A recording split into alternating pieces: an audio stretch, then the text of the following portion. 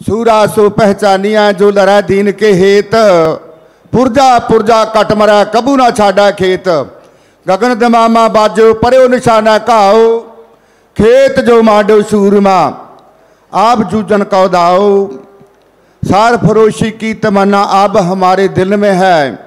ਦੇਖਣਾ ਹੈ ਜੋਰ ਕਿਤਨਾ, ਬਾਜੂਏ ਕਾਤਲ ਮੇ ਹੈ। ਮੇਰੇ ਬਹੁਤ ਹੀ ਸਤਿਕਾਰਯੋਗ ਭੈਣੋ ਤੇ ਭਰਾਵੋ ਗੱਜ ਕੇ ਫਤਿਹ ਬੁਲਾਓ। ਵਾਹਿਗੁਰੂ ਜੀ ਕਾ ਖਾਲਸਾ। ਵਾਹਿਗੁਰੂ ਜੀ ਕੀ ਫਤਿਹ। ਭਰਾਵੋ, ਸਰਕਾਰਾਂ ਤਾਂ ਪਹਿਲਾਂ ਵੀ ਆਈਆਂ ਸੀ, ਪਰ ਪਹਿਲਾਂ ਵੀ ਇਹ ਸਰਕਾਰਾਂ ਤਾਂ ਆਪਣੇ ਪੱਖ ਦੀਆਂ ਨਹੀਂ ਸੀ। ਪਰ ਜਿਹੜੀ ਇਹ ਸਰਕਾਰ ਆਈ ਆ, ਇਹ ਨਾਦਰ ਸ਼ਾਹੀ ਦਾ ਤੇ ਔਰੰਗਜ਼ੇਬ ਦਾ ਦੂਜਾ ਰੂਪ ਹੈ। ਭਰਾਵੋ, ਕਰੋਨੇ ਦੀ ਆੜ ਥਲੇ ਇਹਨੇ ਜਿਹੜੇ ਕਾਨੂੰਨ ਪਾਸ ਕੀਤੇ ਨੇ, ਚਾਹੇ ਉਹ ਧਾਰਾ 370 ਤੋੜੀ ਹੋਵੇ, ਤੇ ਉਹ ਵਿਚਾਰੇ ਜਿਹੜੇ ਜੰਮੂ ਕਸ਼ਮੀਰ ਦੇ ਲੋਕ ਨੇ, ਉਹਨਾਂ ਦਾ ਜਾਣਾ ਦੁੱਬਰ ਕੀਤਾ ਹੋਇਆ ਇਹਨਾਂ ਦਾ। ਤੇ ਚਾਹੇ ਨੋਟਬੰਦੀ ਕੀਤੀ ਹੋਵੇ, ਨੋਟਬੰਦੀ 'ਚ ਵੀ ਜਿਹੜੇ ਕਾਲੇ ਧਨ ਵਾਲੇ ਸੀ, ਉਹਨਾਂ ਨੂੰ ਕੋਈ ਪ- ਫ਼ਰਕ ਨਹੀਂ ਪਿਆ। ਤੇ ਸੜਕ, ਲੈਣਾ 'ਚ ਵੀ ਤੁਸੀਂ ਲੋਕ ਕਿਸਾਨ ਤੇ ਮਜ਼ਦੂਰ ਖੜੇ ਹੋ। ਤੇ ਜੀਐਸਟੀ ਲਾਤੀ, ਉਹਦੇ 'ਚ ਵੀ ਉਹਨਾਂ ਨੂੰ ਕੋਈ ਫ਼ਰਕ ਨਹੀਂ ਪੈਣਾ ਲੁੱਟਣ ਵਾਲਿਆਂ ਨੂੰ। ਉਹ ਵੀ ਸਾਡੇ ਜਿਹੜੇ ਕਿਸਾਨ ਤੇ ਮਜ਼ਦੂਰ ਲੁੱਟੇ ਜਾਣਗੇ।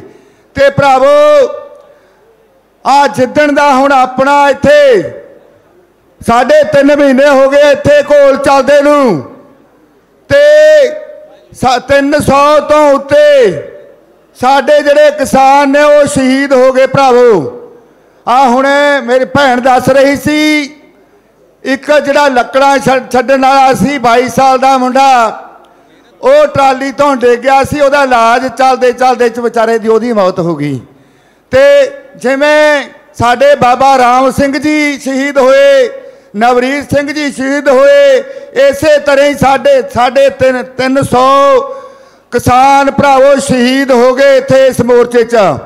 ਪਰ ਇਸ ਜਿਹੜੀ ਨਾਦਰਸ਼ਾਹੀ, ਜਿਹੜੀ ਹਿਟਲਰਸ਼ਾਹੀ ਸਰਕਾਰ ਆ, ਇਹਨੂੰ ਕੋਈ ਕੋਈ ਤਾਂ ਫ਼ਰਕ ਨਹੀਂ ਪਿਆ, ਨਾ ਉਹਨੇ ਆ ਕਦੇ ਆ ਕੇ ਹਾ ਦਾ ਨਾਰਾ ਮਾਰਿਆ ਵੀ ਜਿਹੜੇ ਕਿਸਾਨ ਸ਼ਹੀਦ ਹੋ ਗਏ। ਭਰਾਵੋ, ਉਹ ਜਿਹੜੇ ਅਬਾਨੀ ਡਾਨੀ ਦੇ ਪੋਤੇ ਦੀ ਖੁਸ਼ੀ ਤੇ ਤਾਂ ਚਲਾ ਗਿਆ। ਪਰ ਜਿਹੜੇ ਸਾਡੇ 300 ਕਿਸਾਨ ਸ਼ਹੀਦ ਹੋਏ ਨੇ ਉਹਦੇ ਵਾਸਤੇ ਉਹਨੇ ਇੱਕ ਲਫ਼ਜ਼ ਵੀ ਨਹੀਂ ਵਰਤਿਆ ਵੀ ਕਿਸਾਨਾਂ ਦਾ ਜਿਹੜਾ ਸ਼ਹੀਦ ਹੋਏ ਨੇ ਮਾੜਾ ਹੋਇਆ ਹੈ। ਭਰਾਵੋ, ਜਿਹਨੂੰ ਲੱਗੀਆਂ ਉਹੀ ਜਾਣਦਾ ਹੈ। ਪਰ ਆ ਤੁਸੀਂ, ਆਪਾਂ ਵੀ ਨਹੀਂ ਜਿਹੜਾ ਆਪਣਾ ਵੀ ਸਬਰ ਆ, ਉਹ ਬਹੁਤ ਉੱਚਾ ਹੈ। ਤੇ ਇਹ ਆ- ਆਪ- ਮੁਕਾਬਲਾ ਆਪਾਂ ਸਬਰ ਨਾਲ ਕਰਦੇ ਹੋਏ ਤਿੰਨ ਕਾਨੂੰਨ ਵਾਪਸ ਕਰਾਵਾਂਗੇ।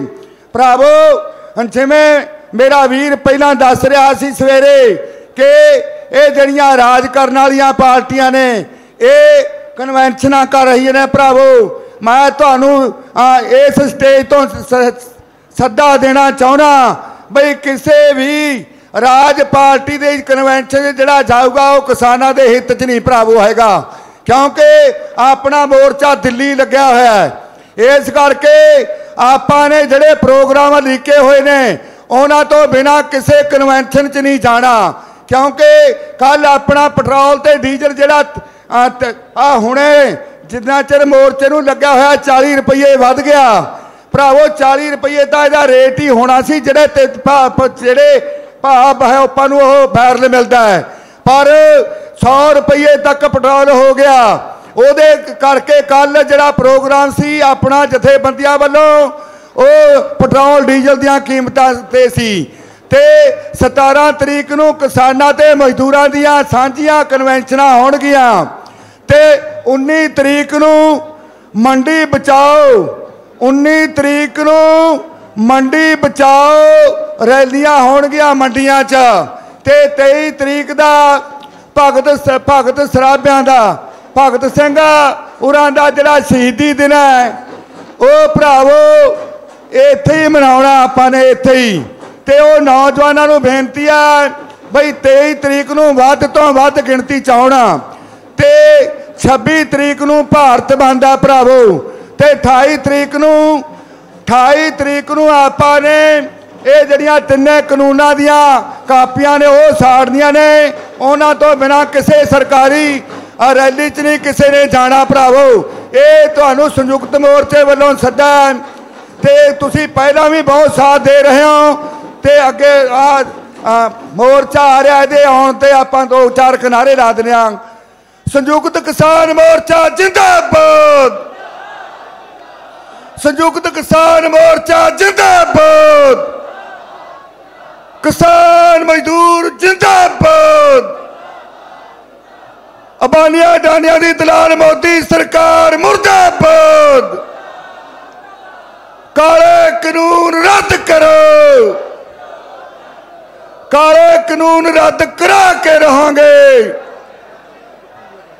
ਸਮੇਂ ਦੀ ਘਾਟ ਕਰਕੇ ਮੈਂ ਤੁਹਾਡਾ ਇੰਨਾ ਹੀ ਟਾਈਮ ਲੈਣਾ ਸੀ। ਵਾਹਿਗੁਰੂ ਜੀ ਕਾ ਖਾਲਸਾ, ਵਾਹਿਗੁਰੂ ਜੀ ਕੀ ਫਤਿਹ।